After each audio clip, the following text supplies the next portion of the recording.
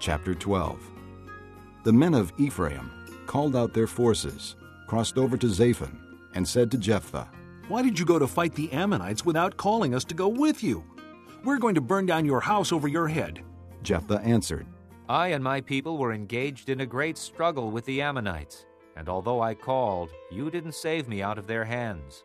When I saw that you wouldn't help, I took my life in my hands and crossed over to fight the Ammonites, and the Lord gave me the victory over them. Now, why have you come up today to fight me? Jephthah then called together the men of Gilead and fought against Ephraim. The Gileadites struck them down because the Ephraimites had said, You Gileadites are renegades from Ephraim and Manasseh. The Gileadites captured the fords of the Jordan leading to Ephraim, and whenever a survivor of Ephraim said, Let me cross over, the men of Gilead asked him. Are you an Ephraimite? If he replied, No. they said. All right. Say Shibboleth. If he said, Sibboleth. because he could not pronounce the word correctly, they seized him and killed him at the fords of the Jordan.